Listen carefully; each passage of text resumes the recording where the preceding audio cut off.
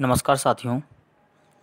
Short hand house Tikamgarh के YouTube channel पर मैं अंकित चौरसिया आप सभी का स्वागत करता हूँ। दोस्तों, आज का हमारा डिक्टेशन ओपी शुक्ला से 400 शब्दों का लिया गया है। तो वीडियो के अंत में डिक्टेशन को लाइक करें, कमेंट करें और शेयर करना ना भूलें। यदि आपने अभी तक हमारे चैनल को सब्सक्राइब नहीं किया है तो चैनल को सब्सक्राइब करके बेलाइकन को ज़रूर दबा दें। डिक्टेशन शुरू करते हैं तीन सेकेंड बाद। स्टार्ट। माननीय महोदय, इस सदन के दस सदस्यों ने जिस महत्वपूर्ण प्रश्न को, जिस करुणाजनक प्रश्न को इस सदन में उठाया, उसके बारे में मैं निवेदन करना चाहता हूँ कि यह दस बारह सदस्यों की चिंता का विषय नहीं है। मेरे ख्याल में यह पूरे राष्ट्र की चिंता का विषय है। इसलिए इस प्रश्न को राष्ट्रीय दृष्टि से सोचना चाहिए और इसी दृष्टि को सामने रखते हुए इसके समाधान का ज़रिया सोचना चाहिए।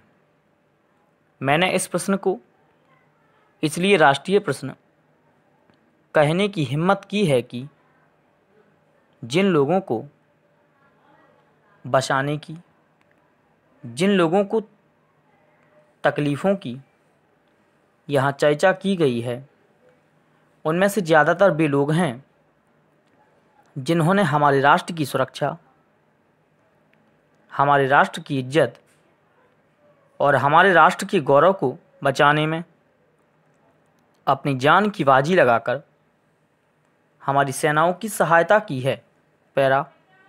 इसलिए मैं कहता हूँ कि उनके गौरव की जो गाथाएँ हैं, वे हमारे राष्ट्रीय इतिहास का एक अंग बन चुकी हैं।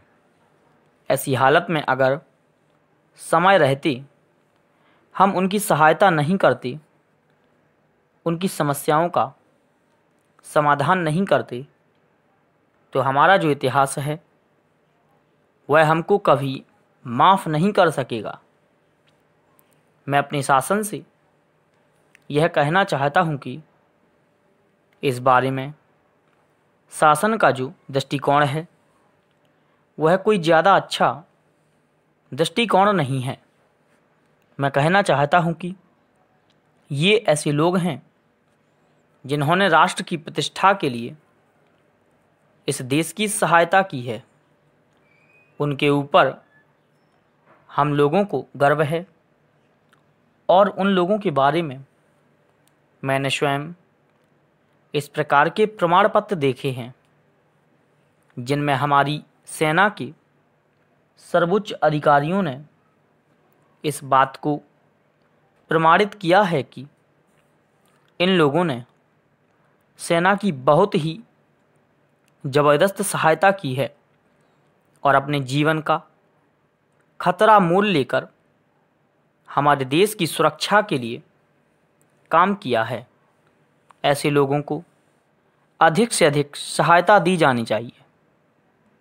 इस समय कैंपों के अंदर उनकी जो दयनीय स्थिति है, उसको तत्काल ठीक किया जाना चाहिए। मैंने सुना है कि शासन ने जो निर्धारित किया है, उसके अनुसार भी उन्हें वस्तुएँ नहीं दी जाती हैं। और कहा यह जाता है कि ये वस्तुएँ नहीं मिल रही हैं, इसलिए आप पैसे ले लीजिए। कितने आश्चर्य की बात है कि अगर बाज़ार में चीज़ें नहीं मिल रही हैं तो वे कहाँ से खरीदेंगे? धन्यवाद।